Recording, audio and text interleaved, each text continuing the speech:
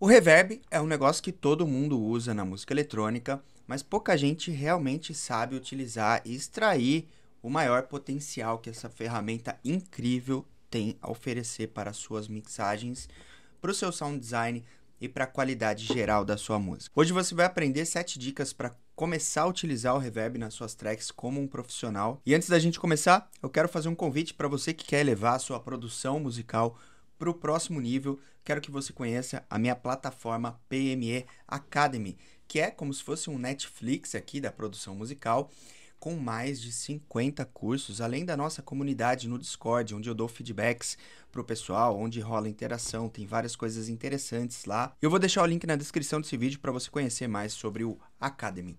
Então vamos lá começar a falar sobre reverb. A primeira coisa que a gente precisa pensar num reverb são os dois tipos principais de reverb que existem. Existem duas categorias de reverb, tá?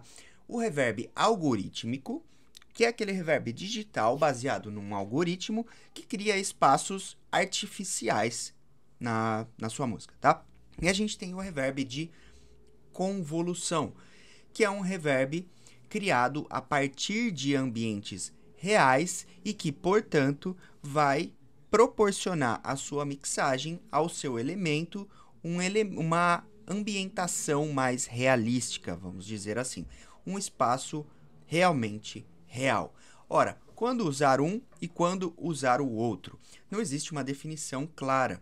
Você vai utilizar o algorítmico quando quiser criar um ambiente mais realístico, por exemplo, instrumentos de corda, vocais, se você quer criar uma sala tridimensional mais realística, você pode utilizar o, o reverb de convolução. Já o algorítmico, ele te dá mais poder de manipulação e criação de efeitos estéticos e criativos, de modo que o resultado não é tão natural, mas ele te permite uma maleabilidade maior. Você pode chegar em timbres mais interessantes, tá? Então essa é a dica número um, entender a diferença entre um reverb algorítmico e um reverb de convolução. Aqui no Ableton, a gente tem o Hybrid Reverb, que é um híbrido entre convolução e um algorítmico. Quando eu coloco aqui o blend no 100 para o lado esquerdo, ele vai ser um reverb de convolução. Então, por exemplo, ele criou uma sala tão, tão realística que eu achei que o meu monitor estava ligado aqui. Vamos deixar o dry wet desligado.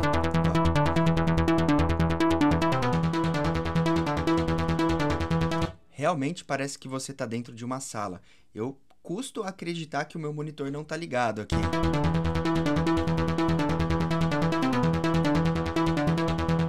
É muito real. A gente pode escolher aqui é, os modos, né? Real Places.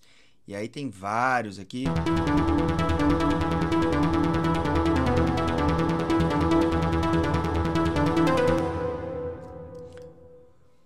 E aí a gente tem o algorítmico. Eu tenho aqui os meus algoritmos. Posso escolher o decay, que é o tempo de decaimento, o tamanho da sala. O damping é quanto ele vai atenuar as frequências mais altas. Percebe como aparece os agudos aqui? Eles aparecem. E aqui eles são atenuados. Ó.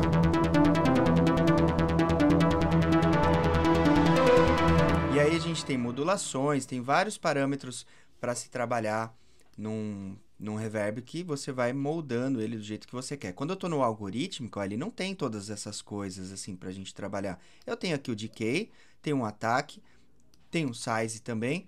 Então não existe, ah, eu vou colocar um algorítmico aqui e um de convolução ali. Você vai colocar onde você quiser. A dica número 2 é o pre-delay, um elemento extremamente importante no seu reverb Vou colocar aqui no algorítmico. O pre-delay, essa função aqui, é o tempo em que o som é tocado e o reverb demora para começar a, a, a, atuar, né? Então, se eu tenho um pre-delay de 150 milissegundos, o meu som vai, original vai tocar e ele vai separar o reverb em 150 milissegundos. Isso vai fazer o quê? Vai trazer mais definição para o seu timbre, ele vai ter mais ataque, ele vai ter mais porque o reverb não vai matar essas propriedades do seu elemento. Vou colocar nesse outro elemento aqui, que é uma nota só. Sem ele. Com ele. Você percebe que o som original toca e depois vem o, o, o reverb, né? Ó, aqui tá bem separado, né? Percebe?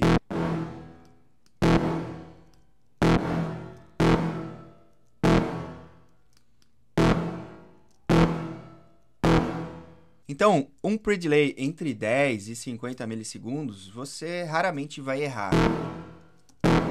Ele fica bom. No reverb de convolução, como eu não tenho esses controles todos aqui, eu vou ter que achar qual que é o cara através da curva aqui que mais tem a ver com aquilo que eu estou buscando. Um reverb que tem mais early reflections, que são as primeiras reflexões. O que, que é early reflections e late reflections? Early reflections são as, a primeira parede, os primeiros obstáculos que o reverb, que o, que o som vai bater e voltar. Então aqui eu tenho bastante early reflection. Late reflections é esse tail aqui, é que ele vai ficar batendo e voltando, batendo e voltando, batendo e voltando. Então, este elemento aqui são early reflection. Olha esse aqui que legal. Então, no reverb de convolução, eu vou escolher mais pelo formato aqui, né? A terceira dica é utilizar em bus como um canal auxiliar ou como inserção no canal, direto no canal, o reverb. Você tem essas duas possibilidades. Em geral, você vai utilizar o reverb em bus quando você estiver pensando em criar uma sala tridimensional sem afetar muito o som original. Já direto no canal, você vai aplicar mais para efeitos de sound design ou quando você quer colocar um som mais para trás, porque no reverb a gente tem um conceito de pan diferente. A gente tem o pan esquerdo-direito, né? Mas no reverb é trás-frente. Às vezes eu estou criando um pad e eu quero colocar ele lá para trás. Então eu colocaria um reverb direto no canal para jogar esse elemento lá para o fundo da minha mix. Agora, se eu não quero tirar essa profundidade, se eu quero manter esse elemento aqui na frente e ainda assim criar uma sala para ele, eu vou utilizar em buzz. Então eu coloquei o reverb aqui no meu canal auxiliar e aí eu vou dosar por aqui.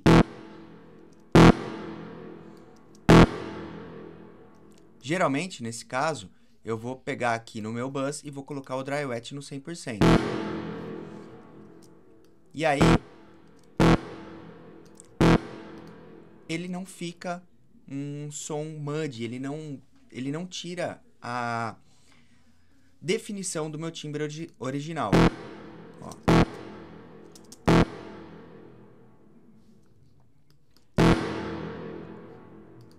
A dica número 4 é equalizar o seu reverb. Então, em geral, um reverb mais profissional, ele precisa ser equalizado. Você vai pegar aqui o seu reverb, por isso que é legal, muitas vezes, ter em bus, porque eu vou pegar aqui apenas o sinal do meu reverb e vou equalizar, né? Essa aqui é uma região de lama, eu vou tirar muitas vezes o... Esse não tem muito grave, mas eu tiraria os graves aqui, sei lá. Esse aqui eu acho que tá até com muito...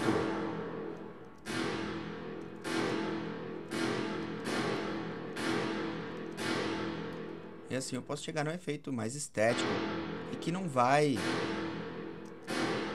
prejudicar a minha mix como um todo, porque às vezes o reverb ele, ele suja muito a mix, né?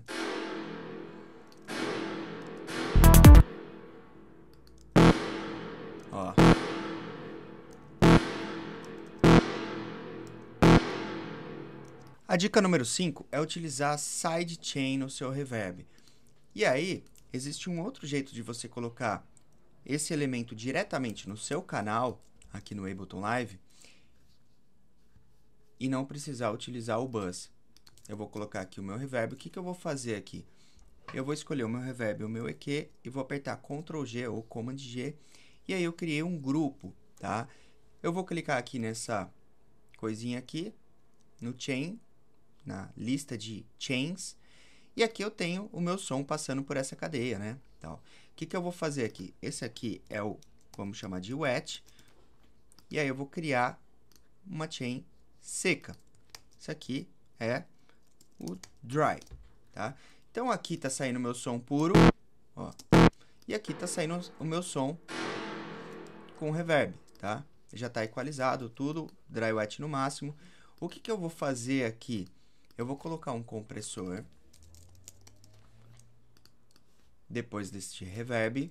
Vou colocar um sidechain e o input vai ser ele mesmo, que é, deixa eu mudar o nome aqui, vamos chamar de stab. É o stab, beleza? Pré-FX. Aqui vou fazer um sidechain nele mesmo, assim. Deixar o ataque bem curtinho, um release automático. Porque aí toda vez que o elemento tocar,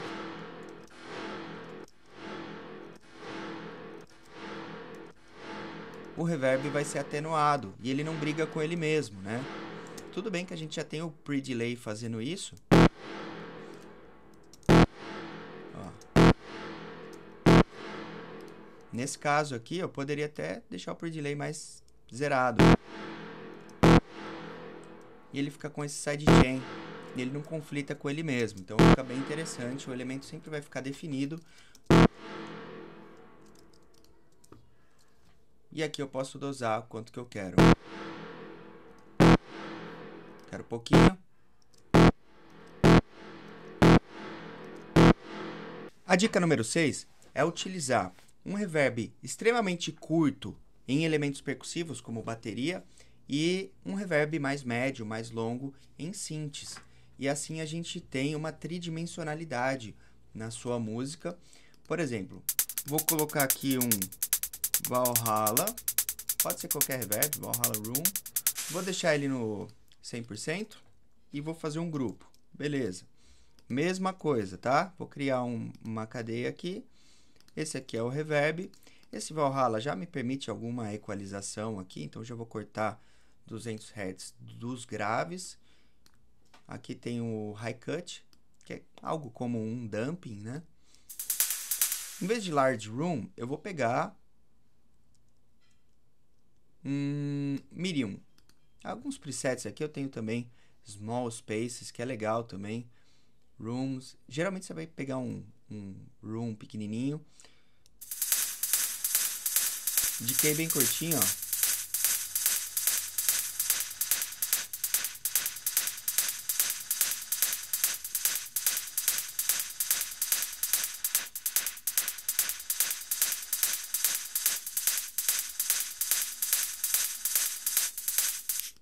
Pré-delay, vamos deixar aí uns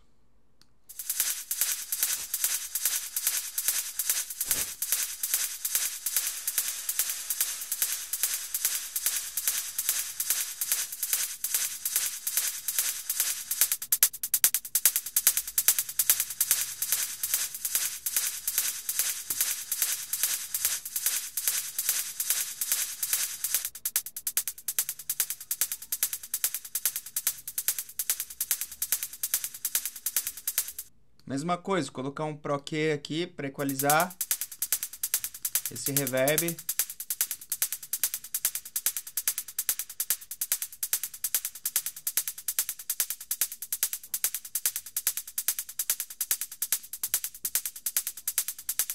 Então aqui ele, que, que ele fez? Ele criou uma sala, né? Ó. Posso colocar aquele compressor também. Sidechain para ele mesmo.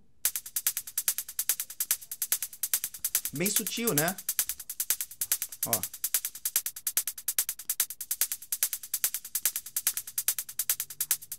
E dá uma ambientalizada.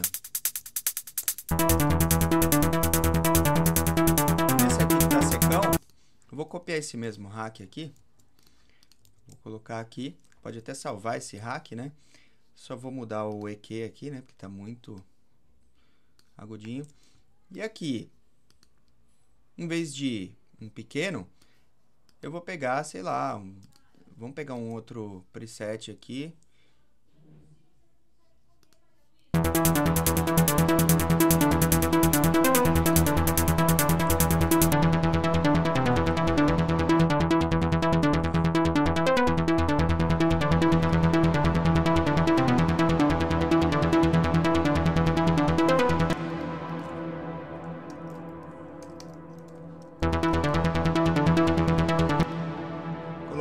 Sidechain para ele mesmo.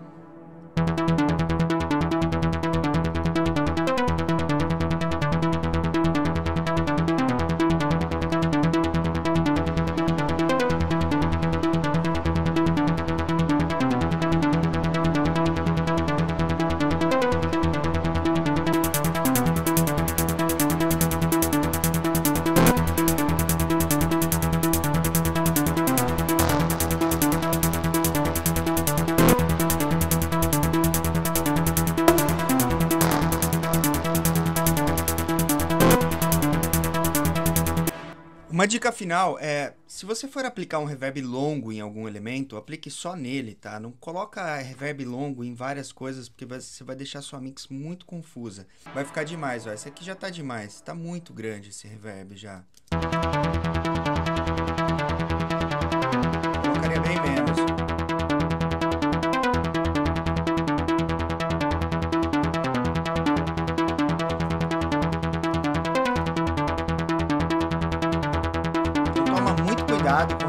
Tá?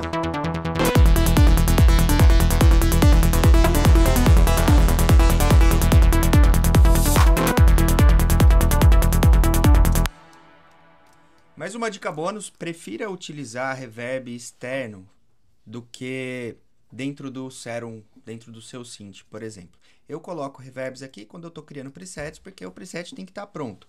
Mas você tem muito mais poder de manipulação quando você usa um reverb, por exemplo, desse jeito aqui em um hack, tá?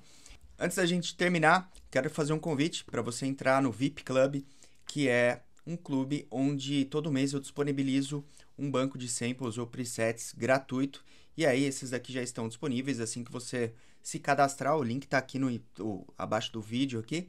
Você vai colocar o seu e-mail e todo mês tem um pack novo. Esse, esse aqui é o pack do mês, o Dark FX. E já tem vários outros aqui, é só clicar e baixar, tá? Não precisa de muita frescura, não.